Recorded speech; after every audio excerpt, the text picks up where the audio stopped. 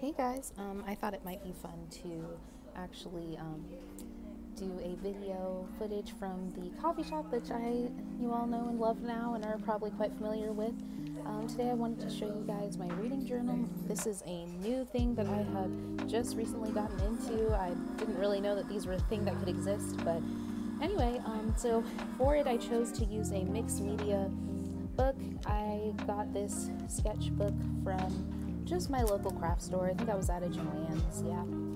I really liked the concept of doing mixed media because I knew that then I could do anything from watercolor to, uh, you know, any other type of coloring and anything like that. So here's the first page of the reading journal, and because this is a new thing and um, it is 2022, uh, here's my 2022 beginning. And so I just kind of like doodled and drew all over this colored a bunch, so I'm really excited about that. But um, I realized the reason why I wanted to even start this in the first place is because I realized over the past two years I've become quite an avid reader um, and also a writer, as you already know. So I realized I might as well actually just start off with the year 2020 and 2021. So today we're just going to go over the books that I've read specifically. I'll go I'll talk about the ones from 2021 because I thought that would be really nice. And the other thing that I thought would be cool is to even talk about books that I've written. So, for those of you who have not read Rose Wielder, I just got to write a little bit about that, and I was excited to be able to do that. The format that I followed is really simple. Basically, all I do is for each page, I look at the title, the author, the year, that it was written, which I still need to fill in for most of these, and then also I write a from, as in where I got it from. Was it a gift or was it at a specific type of store? And so that is what I write. And then I also add a however many stars. I basically rate the book out of five. And if I found the book particularly enjoyable, I add in a little blurb about what I thought about the book. I've seen a lot of these around recently, and here's one from 2021. Um, I've seen a lot of these around, and I thought they were cool, but one thing that I didn't like was that it seemed to be focused a lot about stats and a lot about how many books are you reading and how quickly are you reading them. But for me, I think I feel I have a lot more of a, I guess for me, I just feel like I have a really emotional attachment to the books I read, so I wanted it to be more journal, less statistics. So all I really have for each thing is where I got the book and what I rated it as, and then I just talk about, you know, how much I enjoyed it or not. The other thing that I did differently from other books, uh, book journals, is that um, a lot of people will actually print out the covers of books, but for me, I thought it would be a lot more fun to actually just draw them myself. Um, this was a really powerful book. Let me know if you guys are interested in this, and I'll go into more of the books I read in 2020, but I know that that's a little bit outdated at this point, I guess, so figured I would just focus on 2021. But yeah, I just thought it would bring a really nice personal touch, and it's also just really fun to try to draw things myself. So um, yeah, with that, let's go ahead and get into it. So one book, one of the first books I read, or these honestly are not in a particular order because I actually did not. I was, you know, just doing this from memory, so I don't remember what order I read them in. Um, once we talk about 2022, I am writing these in a very specific order, so I just started with the first book I read, but we'll get to that in a moment. So we have the one by Kiera Cass, and I read the sec- the other two books in her trilogy last year. Um, but so this was the third book, and I went ahead and read it, and I thought it was cool. Um, but I only was able to give it three stars for various reasons. I think that it just didn't end the way I wanted it to. I just wanted there to be more depth, but that's okay. Love Hate and Other Filters was by Samira Ahmed, and I literally love this so much. So, anytime I really love a book, I figured I would, or had a lot of feelings about it, I decided to write a little blurb. So, I really enjoyed this book. I said it's a beautiful premise and heartwarming characters. It was enjoyable to see her following her dreams to really go after her real passion despite her parents' wishes. Very sweet and intriguing heart. Yeah, it definitely was really nice, and it's a really classic kind of fiction, young adult book, coming of age kind of thing. I also really like books by this author because I do not know that much about the Muslim community, so it's really exciting to be able to learn about people that are from maybe a different um, cultural or racial background than myself. And so I love being able to read books like that. So this is by Samira Ahmed, and I gave it four stars. Then we've got Ruin and Rising. So I actually read the first two books of that series earlier um, in 2020. The Shadow and Bone series is the third one in it. I got it from Barnes and Noble, which I actually got most of my books at Barnes and Noble, as you'll be able to see. This book was so good. The whole ti- the whole series I loved amazingly, but I will say that even though I could only give I could only give this one three and a half stars as opposed to the others which I gave both five stars because it just the way that the pacing worked and whatnot it just seemed to be dragging a bit for me and I guess the other two were so excellent that the last one it made me kind of upset. Plus, for me, I just kind of shipped different characters that ended up being shipped in the end, which is just kind of more of a personal problem. It has nothing to do with this incredible author, Leigh Bardugo. I would highly recommend this uh, series for anyone. Okay, so now we get to what I consider to be a completely five star series.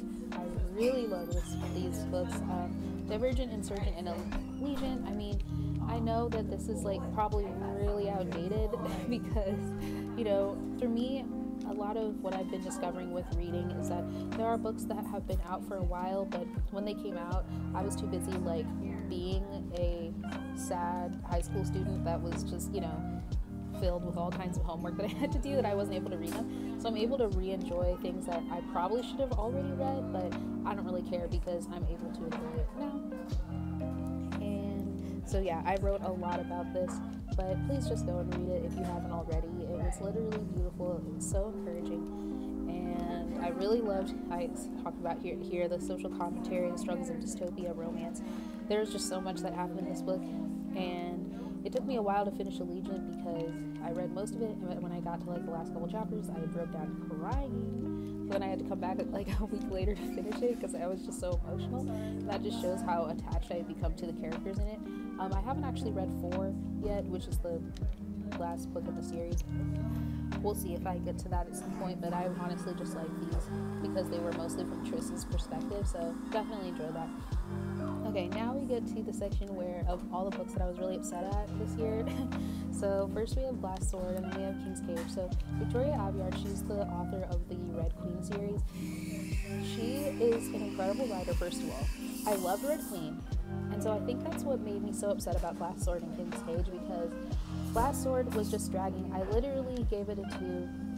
And King's Cage, I, I just, I basically gave up reading Glass Sword and just tried to start reading King's Cage because I was, it was just dragging so much and I just, it, I was so uninvested, which made me really sad. But so I went on to the third book. This one is actually so much better.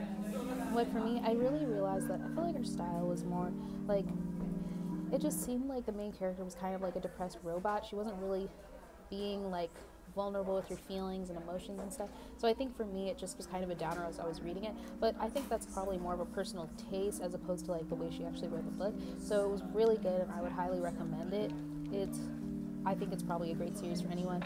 For me, I think I was just so busy being filled with like at the same time that I was reading these, I was reading these, and I, the, these were like filling me with so much happiness and joy and you know it's just there was a roller coaster of emotions. So comparing that to this maybe it's just the timing. Maybe i should try reading them again um, because seriously they do have like a really pretty cover and really great different kind of social commentaries and whatnot. So maybe i'll try that again for 2022 we shall see sorry excuse that in the background okay then we get to betrothed. Okay, um, honestly, I was very upset. I was very upset at this. So Kiera Cass, she's really great. Uh, I actually misspelled her name here. Sorry. She is the writer of the books I was telling you about before. You know, the selection series. But I was so upset with this book. So upset because she literally there was just so many things. It just felt like it was cookie cutter and boring, and I didn't understand the plot, and I couldn't even sympathize with the main character. That's just, I don't know. That's just maybe me. I think what was hard about it is that I really felt like the cover was so beautiful, but then when I was reading it, I was like, no, it's so lacking depth. And again, I think that's just kind of the consequence of when you're trying to read these books at the same time as reading these books. So, but no, I honestly think this one was just like not great. That being said, Kiera Cass is generally a very magical author, and I think she's great, but this one was a no. Um, okay, then we get to the Love and Gelato series uh, by Jenna Evans Welch, and then her other book, Love and Luck, she actually has a third one, which is Love and Olives, which I'm reading right now. So I won't be able to comment on that until I finish. But yeah, literally, I gave them like this one five stars, this one four stars. Like I love these so much. Got them both from Barnes and Nobles, and I'm like so so so so cute. Ah, you know, I just really love both of these. I love these so much, and they're just they make you feel good. They make you happy. They make you cry and tear up and there's a lot between brothers and sisters, there's a lot between family members, there's a lot of things with um, parents and family and getting all kinds of you just get so many good feels and of course there's like the cuteness of romance between the characters and it's just so sweet and innocent and beautiful and ah read these. Read them. They're great. Okay so then we get to the way i used to be by amber smith. Okay this book was literally very intense. Um, i would not say it's for the faint of heart. Uh, yeah i started at the beginning saying it's really powerful. This book was a really great commentary on what can happen to so many young women who are um, exposed to different types of sexual assault. She talked about rape in this book and a, a girl's journey from um, being assaulted when she was a freshman in high school and then the effects of that throughout her high school career. Very powerful, very amazing. I actually read it through Kindle. So I don't have the physical book, but it was literally so good but you're gonna need some tissues for this, so you know, buckle up when you read it because it's very intense. I gave it a four and a half stars. Okay, so Mad, Bad, and Dangerous to Know. Okay, I am really upset because I really love the books by her. Um, as you can see, you know, I read what is it? Uh, okay, I read this book by her, which I loved, and I read The Intern by her, which I really loved. So I think I was just really upset by the time of getting to this one because I just didn't finish. Like, it just, there was so, I just feel like the main character was just kissing this boy the whole time. And so it felt like there was no plot. And like, seriously, it was like every page. She was like, oh yes, and then I kissed him again. And I'm just like, no. So I, I decided to not read it, but you know, if I was a person, but the way that she was writing it, her style of writing, you know, I gave her four stars because she's just a really good author. But for me personally, it's just that's just not my taste. So I didn't finish this one either. Um, there were a lot of good things about it, though. There was a lot of, I mean, as usual, I really. Oh, sorry about that. There's a lot of good things about it. Uh, I do love learning about cultures. This girl was like Muslim and French and like all kinds of things, and there's history, and so there was a lot of like potential for this book. I think I was just upset that the main character was like instead of going into all that depth and mystery and culture and religion and all that, she was just like kissing this random guy. I don't know. I was just really upset about that. So anyway, I ended up not finishing it, but at least it was a really beautiful cover. That made me happy. Okay, which brings us to the end. So War Leader is the second book in my um, in my own series. I haven't drawn it in yet um, and written about it, but I will.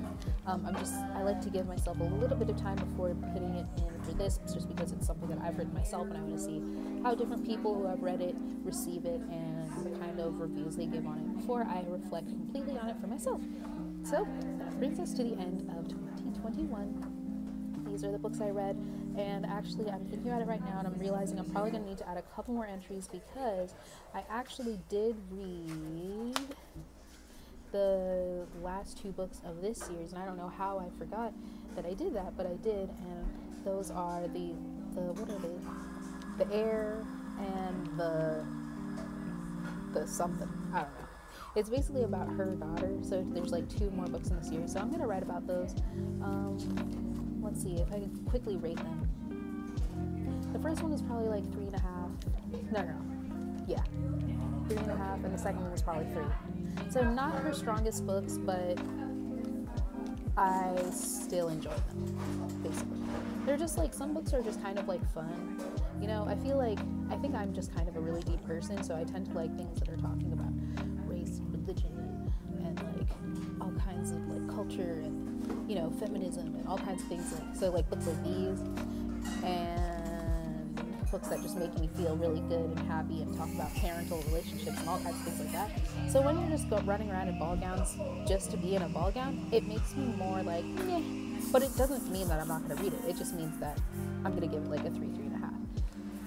But that's just me, and I think these are all very subjective. So that brings us to the end of this year.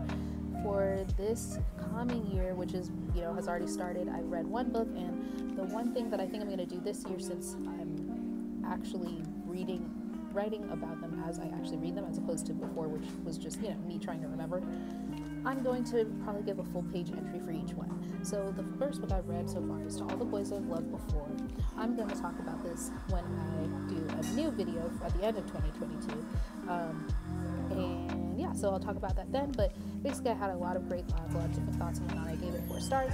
Um, and yeah, I just think it will make the book, this journal, even more full if I can just have a full page entry on my thoughts for each one, as opposed to, you know, only writing about the ones that I really liked or really didn't like.